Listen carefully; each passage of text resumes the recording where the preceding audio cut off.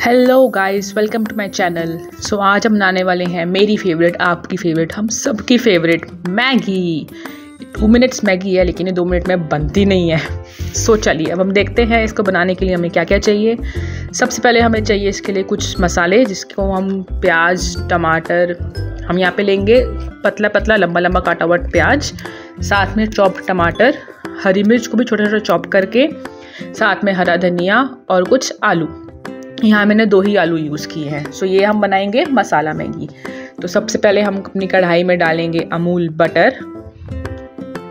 जितना हम चाहें हम उतना आप अपने अकॉर्डिंग डाल सकते हैं। इसमें कोई स्पेसिफिक नहीं है कि हमें इतना ही डालना है। सो मैंने यहाँ पे थोड़ा सा डाला है ताकि उससे थोड़ा टेस्ट जो है वो अच्छा आता है मैगी का। और साथ में हम यहाँ डालेंगे थोड़ा सा घी, जिससे कि हमारा जो बटर है वो कई बार थोड़ा काला सा हो जाता है तो वो नहीं होता है। इससे अगर हम साथ में कुछ, आप चाहो तो रिफाइंड ऑयल डाल सकते हो एक चम्मच अदरवाइज़ नहीं तो आप थोड़ा सा घी भी डाल सकते हो। इसमें तो यहाँ पे मैंने डाला है इसमें घी। अब हम इसको मिक्स करेंगे ताकि अच्छे से मेल्ट हो जाए और हमारे मसाले इसमें अच्छे से रोस्ट हो सकें। तो जब तक ये मेल्ट होता है, तब तक अपना सामान रेडी करते हैं। साथ में अब हम डालेंगे इसमें हरी मिर्च। यहाँ मैंने करीबन चार हरी मिर्च ली हैं, आप चाहें तो अपने अकॉर्डिंग ले सकते हैं। तब तक हम इसको भुनने का वेट करेंगे, जैसे कि हल्का सा लाइट कलर की हो जाए और ये सॉफ्ट हो जाए। तब तक हम इसको भुनेंगे इसमें। वाह, क्या खुशबू आने लगी है मिर्ची की इसमें अब।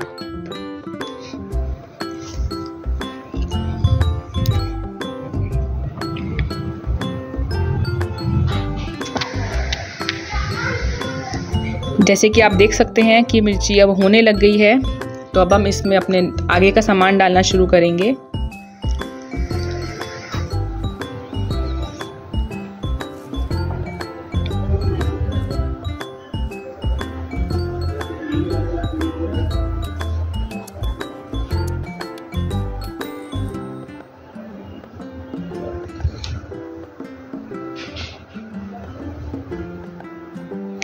अब हम डालेंगे इसमें हमारा कटा हुआ प्याज।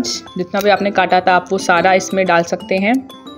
और उसको अच्छे से हम मिक्स करेंगे इसमें, ताकि हमारा प्याज जो है, वो इसमें ऑयल में आई मीन बटर में भुन जाए।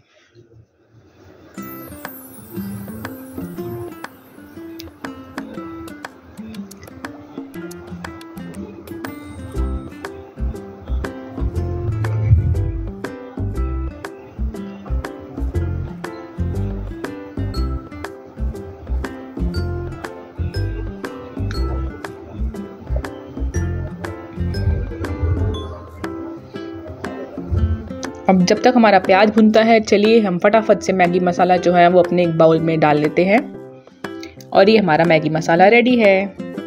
रेडी है मतलब जो हमारा को पैकेट में मिलता है, हमने वही डाला है इसमें।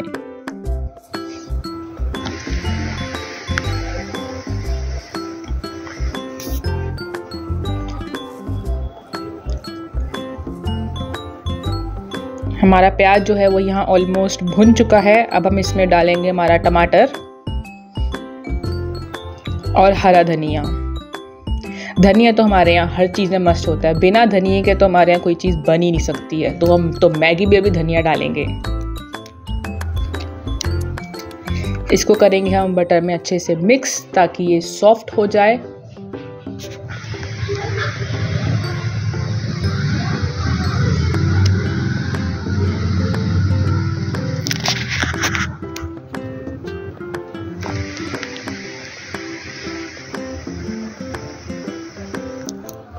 टमाटर को सॉफ्ट करना है तो नमक तो डालना पड़ेगा। तो अपने टेस्ट के अकॉर्डिंग हम इसमें डालेंगे नमक।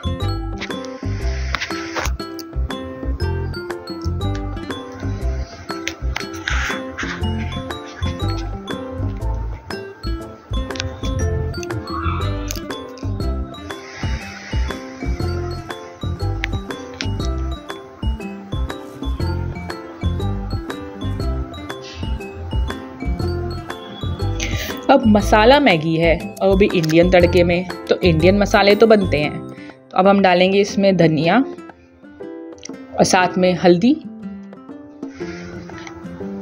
और थोड़ी सी लाल मिर्च। यहाँ लाल मिर्च मैंने तीखी वाली ली है तो आप चाहो तो इसमें देगी मिर्च भी यूज़ कर सकते हो, जो कि कलर के लिए होती है। अब हम करेंगे इसको अच्छे से मिक्स ताकि हमारे मसाले में जो है वो मिर्च मसाले लग जाएँ अच्छे से।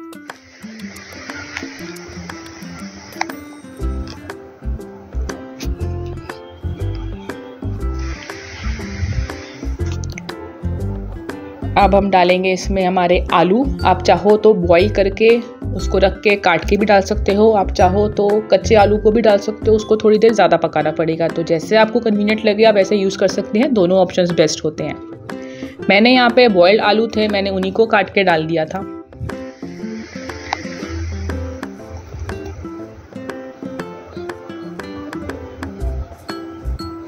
अब देख सकते हैं आप कितना अच्छा कलर आ रहा है हमारी सब्ज़ी में। और यही कलर हमारी मैगी को बहुत टेस्टी बनाने वाला है।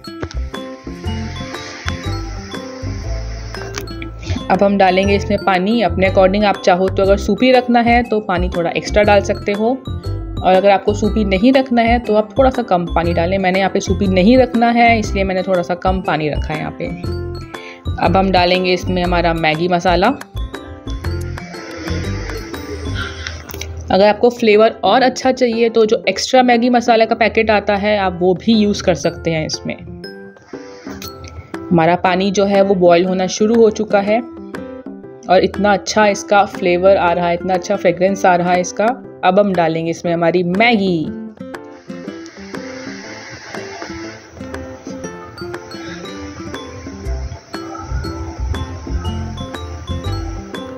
ज़्यादा छोटे पीसीस मत कीजिएगा, वरना वो बहुत ज़्यादा घुल जाएगा। मैंने सिर्फ़ हाफ़ पीस करके इसमें डाले हैं तो आप चाहो तो ऐसे डाल सकते हैं हाफ़ पीस करके अदरवाइज़ पूरे पूरे पीस डालना चाहें तो आप वो भी कर सकते हैं। अब आप इसको रखेंगे कुछ देर के लिए ताकि ये बॉयल हो अच्छे से और हमारी मैगी जो है वो बनकर रेडी हो जाए।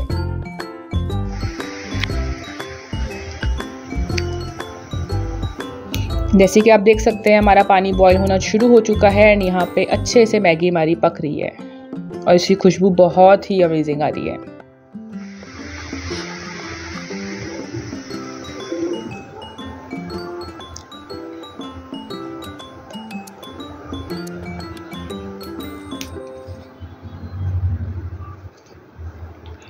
अच्छे से हम इसको मिक्स करेंगे ताकि हर जगह प्रॉपर फ्लेवर आए। इसका नमक मिर्च जो हमने डाले हैं, वो अच्छे से मिक्स हों और बहुत ही अमेजिंग टेस्ट आए इसका।